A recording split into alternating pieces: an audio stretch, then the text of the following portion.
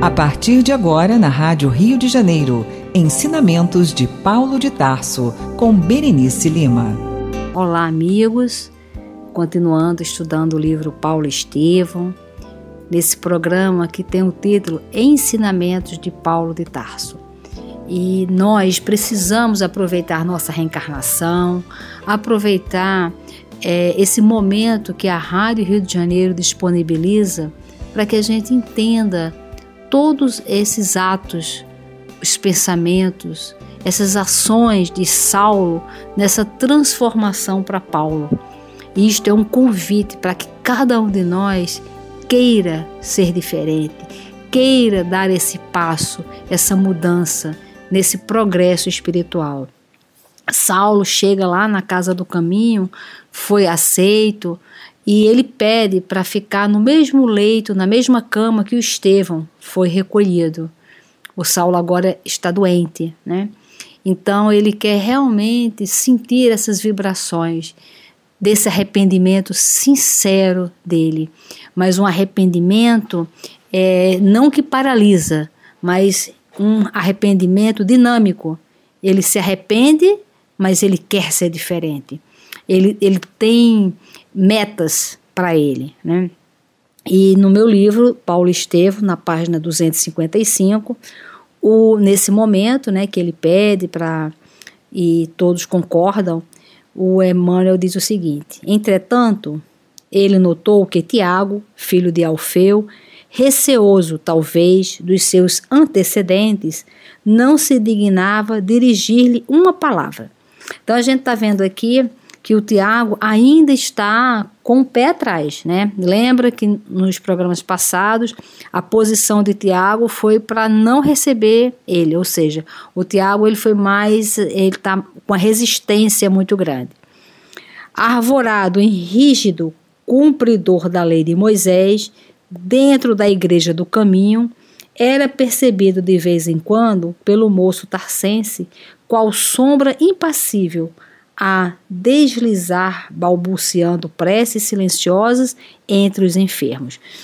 É, tem essa característica né, do Tiago, essa grande característica dele de não se desligar da religião judaica. Né? Ele está é, no judaísmo, no, na, em todas as questões do judaísmo, né? Então, arvorado em rígido cumpridor da lei de Moisés dentro da própria igreja do caminho. E a gente vê muitos evangélicos é apenas arvorado em rígido cumpridor da lei de Moisés, ou seja, sem fazer essa transição da visão crítica para uma visão crística. E o Emmanuel disse que, a princípio, sentiu quando lhe doía aquele desinteresse, mas logo considerou a necessidade de humilhar-se diante de todos. Nada fizera ainda que pudesse positivar suas novas convicções. Quando dominava no sinédrio, também não perdoava as adesões de última hora. É muito interessante porque a cada instante o Saulo ele se coloca na situação. E ele fala: Poxa, o, ele né, tá tão rígido comigo, poxa, o Tiago tá tão resistente comigo, mas eu também era assim. Então, ele consegue compreender não só o Tiago, como todas as questões, porque o Saulo sabe sobre si. E a gente já viu, Kardec já perguntou aos espíritos qual é a maneira de evoluir nesta reencarnação e os espíritos dizem: conhece-te a ti mesmo. E é só nesse processo, e é nesse processo que o Saulo está. É, ele, cada pedrada que ele recebe, ele fala: Mas eu já apedrejei, eu sou assim, mas eu não quero mais ser assim. E aí ele dá a outra face. Ou seja, ele sabe do que está acontecendo, né? E o Emmanuel diz que logo que entrou a convalescer, já plenamente identificado com a afeição de Pedro, pediu-lhe conselhos sobre os planos que tinha em mente, encarecendo a máxima franqueza para que pudesse enfrentar a situação por mais duras que lhe fossem circunstâncias.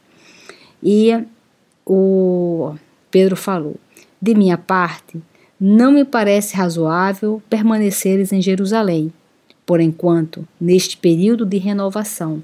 Para falar com sinceridade, há que considerar teu novo estado d'alma como a planta preciosa que começa a germinar. É necessário dar liberdade ao germe divino da fé. Na hipótese da tua permanência aqui, encontrarias diariamente, de um lado, dos, os sacerdotes intransigentes em guerra contra o teu coração, e de outro, as pessoas incompreensíveis que falam nas extremas dificuldades do perdão, embora conheçam de sobra as lições do Mestre nesse sentido. Olha que interessante, né? O Pedro aqui já mostrando uma maturidade e sabendo conduzir uma situação.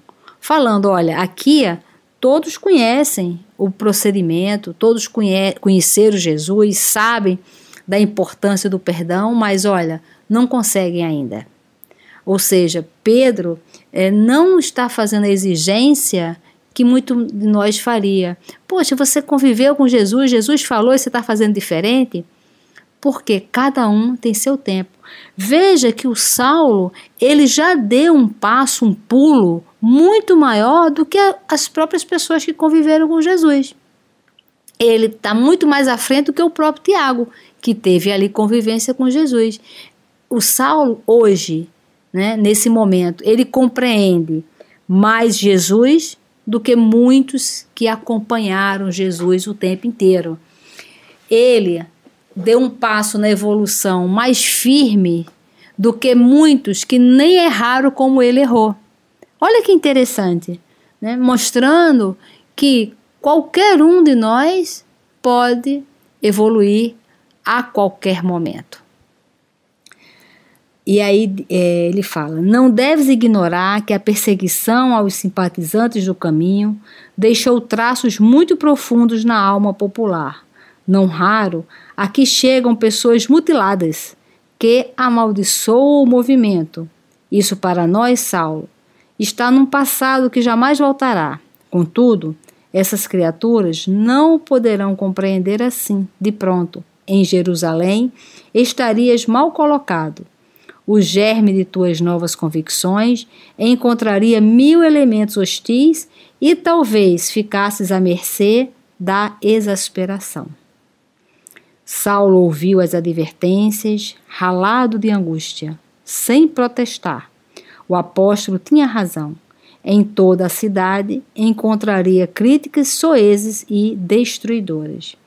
E aí o Saulo fala: Voltarei a Tarso é possível que meu velho pai compreenda a situação e ajude meus passos.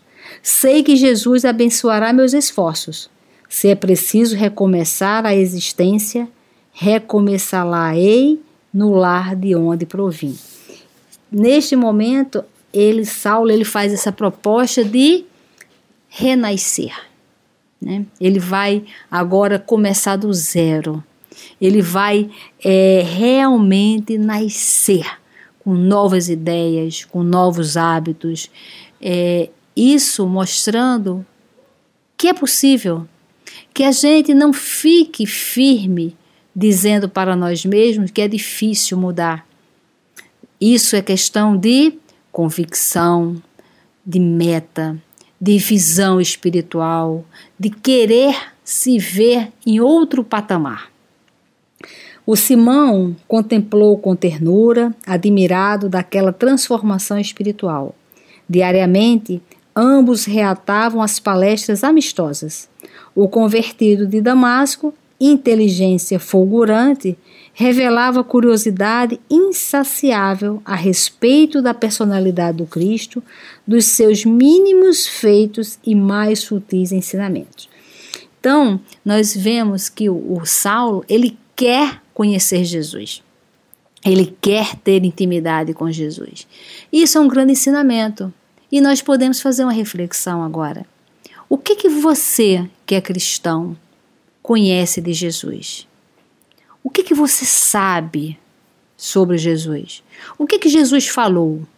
Para quem ele falou? Quando ele falou? Em qual circunstância ele falou? O que, que você consegue compreender dos ensinamentos de Jesus. Porque muitas vezes nós somos cristãos, mas nós não sabemos, nós não lemos, nós não temos nenhuma intimidade com Ele. Então nós precisamos ter essa intimidade com Jesus. Outras vezes, solicitava ao ex-pescador todos os informes possíveis sobre Estevão, regozijando-se com as lembranças de Abigail, embora guardasse avaramente os pormenores do seu romance da mocidade. Inteirou-se então dos pesados trabalhos do pregador do Evangelho quanto ao cativeiro. Da sua dedicação a um patrício de nome Sérgio Paulo, da fuga em miserável estado de saúde no porto palestinense, do ingresso na Igreja do Caminho como indigente, das primeiras noções do Evangelho e consequente iluminação em Cristo Jesus. Encantava-se ouvindo as narrativas simples e amorosas de Pedro, que revelava sua veneração ao mártir, evitando melindrá-lo na sua condição de verdugo repeso. É, esse ensinamento é bem interessante, né? Porque a gente está vendo o Pedro falando sobre Estevão, sabendo que Estevão foi apedrejado por conta do Paulo, do Saulo, né? É, mas não querendo magoá-lo, porque está vendo o que? A renovação de Saulo. Olha, gente, isso aqui é um grande ensinamento para que a gente não espezinhe ninguém, que a gente não maltrate ninguém emocionalmente. Quando alguém estiver na culpa, quando alguém estiver no processo de perdão, que a gente realmente saiba valorizar. E aí o Emmanuel diz que logo que pôde levantar-se da cama, foi ouvir as pregações naquele mesmo recinto onde insultara o irmão de Abigail pela primeira vez. Os expositores do evangelho eram, mais frequentemente, Pedro e Tiago. O primeiro falava com profunda prudência, embora se valesse de maravilhosas expressões simbólicas, que era o Pedro, né? O segundo, entretanto, que era o Tiago, parecia torturado pela influência judaizante. Tiago dava a impressão de reingresso na maioria dos ouvintes nos regulamentos farisaicos. É, o que, que dá para a gente entender? Que o Pedro entendia Jesus Saulo também. E o Tiago ainda não. O Tiago ainda estava preso mais nas questões exteriores. Ele estava só no nível do conhecimento, ele não estava na consciência ainda, né? Isso é uma, uma coisa assim bem interessante e também para a gente é, fazer uma revelação, uma, uma avaliação para saber como é que a gente se encontra nesses, nesses conhecimentos. Olha que interessante com relação ao Tiago. Suas palestras fugiam ao padrão de liberdade e de amor em Jesus Cristo. Revelava-se encarcerado nas concepções estreitas do judaísmo dominante. Longos períodos de seus discursos referiam-se às carnes impuras, às obrigações para com a lei, aos imperativos da circuncisão ou seja, o Tiago ele está muito preso às questões materiais, ao, aos rituais, às questões puramente físicas. Ele não consegue ainda transcender, é, ver as possibilidades da evolução espiritual. E é um ensinamento para a gente, né? É, aonde que a gente coloca mais peso? São nas questões da matéria ou nas questões espirituais? E o Emmanuel disse que a Assembleia também parecia completamente modificada. A igreja assemelhava-se muito mais a uma sinagoga comum. Israelitas, em atitude solene, consultavam pergaminhos e papiros que continham as prescrições de Moisés. Saulo procurou em vão a figura impressionante dos sofredores e aleijados que vira no recinto quando ali esteve pela primeira vez. Curiosíssimo, Notou que Simão Pedro atendia-os em uma sala contígua com grande bondade.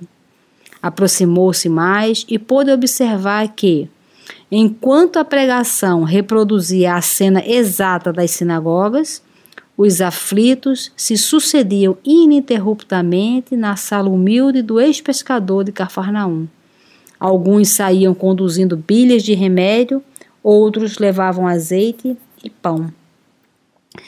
É, realmente tem uma situação aqui, né, nessa casa do caminho.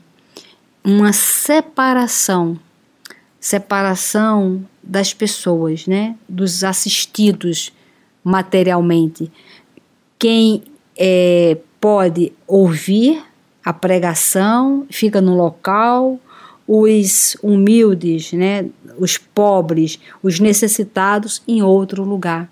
Ou seja, uma divisão social que está acontecendo aqui. Saulo impressionou-se. A igreja do caminho parecia muito, muito mudada. Veja que isso porque o Saulo foi uma vez lá há uns quatro anos atrás e percebeu uma mudança, né, de quatro anos, uma mudança de valores, uma mudança que antes ele sentiu que era algo mais voltado para a caridade genuína, para as questões espirituais, e agora estava apenas em falácias. Né? E aí o, o Saulo sente que faltava-lhe alguma coisa.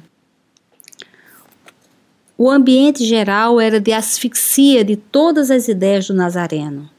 Não mais encontrou ali a grande vibração de fraternidade e de unificação de princípios pela independência espiritual. Depois de aturadas reflexões, tudo atribuía à falta de Estevão. Morto este, extinguira-se o esforço do Evangelho livre, pois fora ele o fermento divino da renovação. Somente agora se capacitava da grandeza de sua elevada tarefa. Então, então Saulo percebeu que é, isso aí tem mais ou menos quatro anos que o, o da morte do Estevão, né? E ele percebeu o quê? Que teve toda uma mudança de padrão, de objetivo da casa do caminho. E aí a gente tem que ver se nós não estamos fazendo isso na nossa casa, na nossa, no nosso psiquismo, né? quando a gente começa a fazer uma divisão realmente de uma assistência. Quando a gente começa a diferenciar os assistentes e os assistidos, quando a gente começa a rotular as classes sociais, isso é um, isso é um grande ensinamento que a gente realmente precisa entender. E aí ele continua falando, né, o Emmanuel que o Saulo quis pedir a palavra, falar como em Damasco, zurzir os erros de interpretação, sacudir a poeira que se adensava sobre o imenso e sagrado idealismo do Cristo. Mas lembrou, lembrou as ponderações de Pedro e calou-se. Não era justo, por enquanto, verberar o procedimento de outrem, quando não dera obras de si mesmo. Ou seja, ele não pode chamar a atenção porque ele não tem na prática o exemplo, né? É, por testemunhar a própria renovação. Se tentasse falar, podia ouvir, talvez, reprimendas justas. Além disso, notava que os conhecidos de outros tempos, frequentadores agora da Igreja do Caminho, sem abandonar de modo algum seus princípios errôneos, olhavam-no de soslaio, sem dissimular desprezo, considerando em perturbação mental. No entanto, era com esforço supremo que sopitava o desejo de terçar armas, mesmo ali, para a restauração da verdade pura. Então ele já entendeu que está tendo uma modificação na interpretação dos evangelhos, é, criando rituais, ou seja, indo na contramão de Jesus. Que Jesus não criou nenhum ritual. Jesus não valorizou em nada as questões materiais, as questões é, das, das formalidades. Jesus só teve um, um objetivo: fazer com que cada um de nós despertasse para obter o reino dos céus que está dentro de nós e que para isso basta a gente se desenvolver. Né? E aí, após a primeira reunião, procurou a oportunidade de estar a sós com o ex-pescador de Cafarnaum, a fim de se inteirar das inovações observadas. A tempestade que desabou sobre nós, explicou Pedro generosamente, sem qualquer alusão ao seu procedimento de autora, levou-me a sérias meditações. Desde a primeira diligência do sinédrio nesta casa, Notei que Tiago sofrera profundas transformações. Agora, olha que interessante, né? O Tiago está assim porque também teve o medo de Saulo, né? Saulo criou tanta quinzumba, foi tão agressivo que hoje a Casa do Caminho está um pouco assim, com essa visão distorcida, mas porque também tem o pezinho lá do medo do Saulo. Né? Imagina, ninguém esperava que o Estevão fosse morto daquela forma, apedrejado, que o Saulo levasse até o fim isto, né? Quantas pessoas foram é, mutiladas, apedrejadas e mortas? Então, isso também, é, essa situação fez com que as pessoas, principalmente o Tiago, também tivesse medo, né, de se aprofundar.